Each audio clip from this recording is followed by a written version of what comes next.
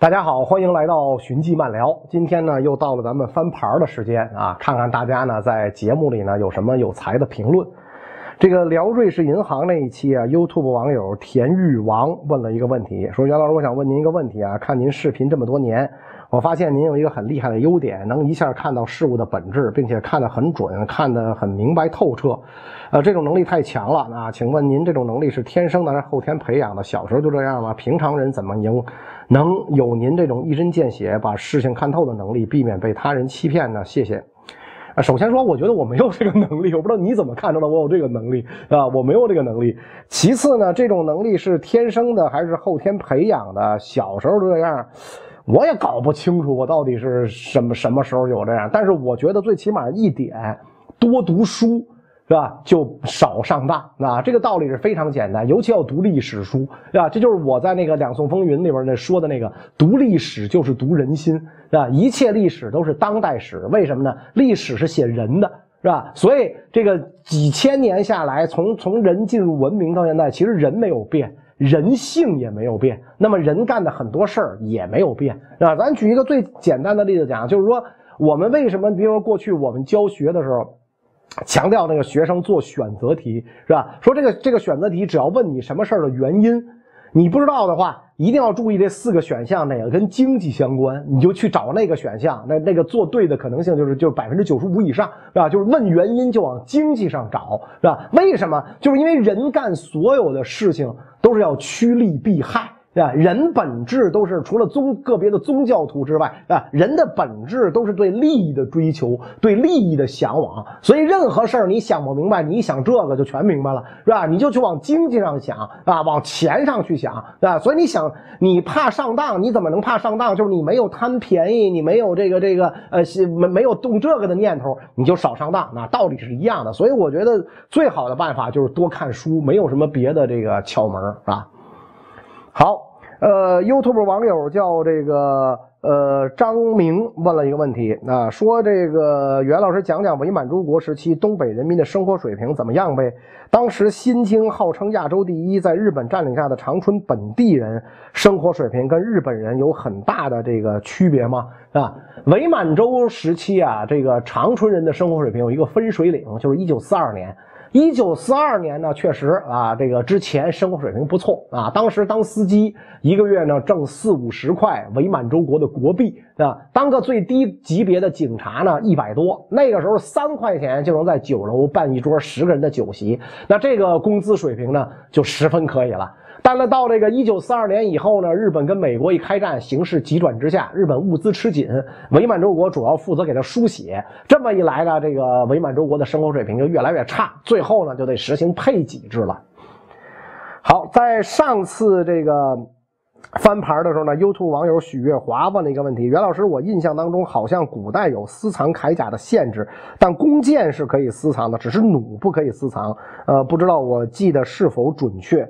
呃，如果我记性不差的话，是不准确的啊，是不准确的，因为这个就是呃，只有刀剑棍棒这些防身兵器是可以这个私藏啊。我记得连枪槊都不可以啊，更甭说这个铠甲和弓箭是吧？好像我没有听说过这个呃，只有弩不能私藏，弓箭肯定也是不准私藏是吧？但是你比如说像你比如说像一般的武将。你家里有弓箭，这个很正常，因为你平时要练习，对吧？你要习射啊，尤其你像那个元清这种少数民族王朝啊，那些个呃武将啊，包括皇子啊，那家里有弓箭，那再正常不过了，是吧？但是呢，这个你说你有大量的弓箭呢，你家里有十张弓以上啊，有大量的箭。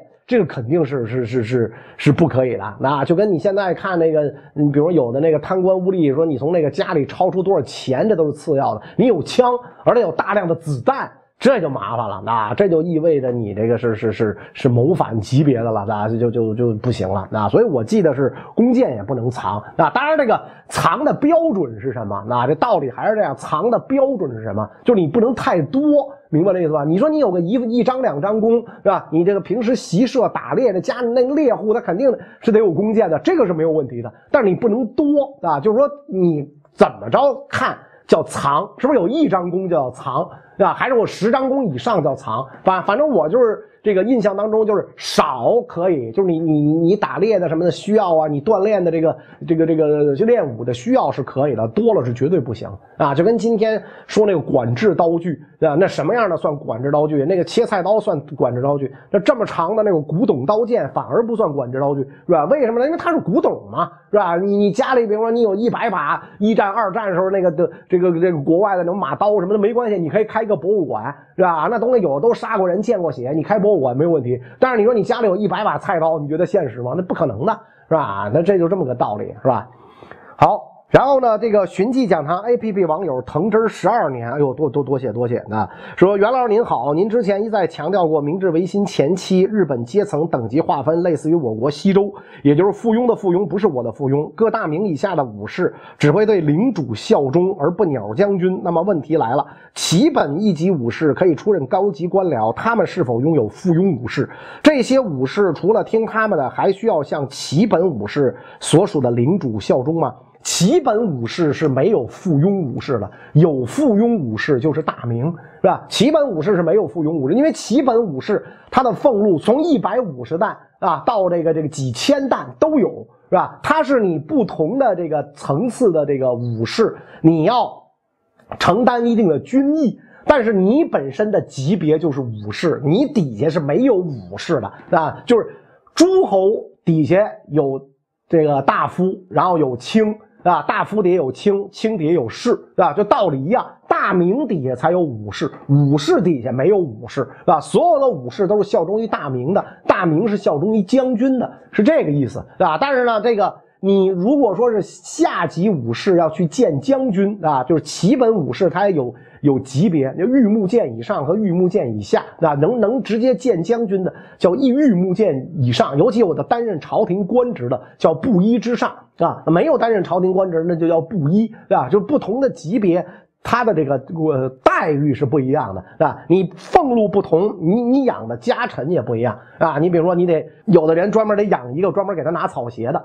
对吧？你你说这这种人有什么用？不不，你你就得养这个。其实我觉得他可能也是为了解决当时的就业问题，对吧？因此我觉得这个武士，像这齐本武士家里人，顶多能算他的什么家臣呐，或者就是家人呐，啊。但是他们有好多人是不具备武士身份的啊，是这个意思。啊，在聊几内亚那一期呢？寻讲堂 A P P 网友勾 T S E 问了一个问题啊，说：“请问袁老师，非洲那一条一条直线的国境线是怎么划定的？那西方殖民者划定的呗，是吧？你想那个非洲那大草原上，它也没有什么天然屏障。”是吧？没有山川，没有河流。你像咱们中国的省界，好多都是以山河形变划线，是吧？哎，太行山分了河北和这个山西，啊，黄河分了山西和陕西，它都是这么来划。那非洲你那大草原上，你你咋画啊？这一望无际的大草原，是吧？所以这殖民者在你控制了这儿，我控制那儿，咱俩的边界怎么画？就是沿经线、纬线，咔咔一画。就完了，因为原来那地方都没有人嘛，啊，它都没没有人烟，没有人类文明的活动，它也没有什么城市，什么都没有，就只能这么画。就跟美国好多州的这个这个州界也是直的，道理是一样，就是人为画的，按经纬度那么画的，所以它的国境线就板直板直的，是吧？这就就这么个意思，是吧？那独立之后，这非洲独立之后，那这个原来的殖民地纷纷独立成了国家，那那那这这线就甭变了吧，就还是这么画了呗，是吧？要变变就干仗呗，那道理就很简单。所以非洲为什么？那国与国之间打仗那么多，也是这个道理啊。好，在这个聊盐铁专营的时候，YouTube 网友 E.T. 欧文臣问了一个问题啊，说袁老师您好啊，古代军队怎么安置在战斗中伤残的士兵啊？这个事儿呢，东西方啊不太一样啊。西方从古罗马时代开始呢，就是战争中受伤的士兵由国家负责生活养老，一家子呢都会获得这个极高的荣誉。很多人的子孙呢，直接就从政了。中国古代呢，一般是不管的啊。稍微有点例外的呢，是这个宋朝啊，咸平五年，真宗皇帝在位，宣布对环庆路冬季讨伐这个帆布受伤的士兵啊，赐闽啊，赐这个闽钱药酒，俸禄待遇仍然如故。仁宗庆历元年八月诏令啊，所有受伤的军人，政府终身给其平时衣粮的一半。并一次性给三十千钱的补贴，宋朝还规定呢，战场上受伤之后五十天内死亡的，仍按阵亡推恩啊。这算是中国历史上呢对这个伤残士兵比较好的时候啊。但是呢，也就是国力尚可的时候，一旦国力衰退，就顾不上这些了。好，在聊这个呃四大名著那一期里的寻迹讲堂 A P P 网友皮皮鲁问了一个问题，那说袁老师您好，最近在听您苏联在二战前干了什么专辑，有个问题想咨询您去。那么多高级将领被杀，难道没有起义的吗？哼，那我可以反问你一个问题：岳飞为什么不起义？是吧？岳飞等于是这个这个呃枢密副使，相当于今天的这个呃副总参谋长，是吧？他的部队岳家军。占到这个宋朝军队总数的五分之一，他为什么乖乖送这个戍守？为什么不起义？是吧？那你像当年的这个这个什么呃宋太祖杯酒释兵权，这帮武将为什么不叛乱？是吧？你把我兵权夺了，给我点钱啊，让我回家买房子买地，我就干嘛？我为什么不叛乱？是吧？你想他这些个这个将领，他受了这么多年的教育啊，那么他的这个。这个就是忠于国家、忠忠于斯大林的这种观念已经深入人心，就跟岳飞一样啊！而且他被杀的时候，不是说这个这是是这个。五个元帅都不是同时被杀了吧？先是这个呃图哈切夫斯基啊，然后是这个呃布柳赫尔啊叶格罗夫，他他不是同时被杀的。叶格罗夫倒反抗了一下啊，开枪打死了两个来抓他的内内务人民委员部的这个这个特工，然后再举枪自杀，这是他仅有的反抗，其他都束手就擒，上刑场还喊斯大林万岁呢，对吧？这是这个这个第一个原因，他他洗脑教育的问题。第二个原因，你造反，兵跟着你嘛，是吧？你。你想岳飞那会儿部队被称为岳家军，都没有造反。到这个时代，这些军队是什么军？苏联红军，是吧？你反对苏联，你反对领袖，反对国家，你觉得这个兵会跟着干吗？这道理太简单了，好吧？那最近大家的评论，咱今儿就聊到这儿。那欢迎大家呢在寻迹讲堂 APP 公众号或者 YouTube 上收看《寻迹漫聊》，也欢迎加入我们的会员。谢谢大家。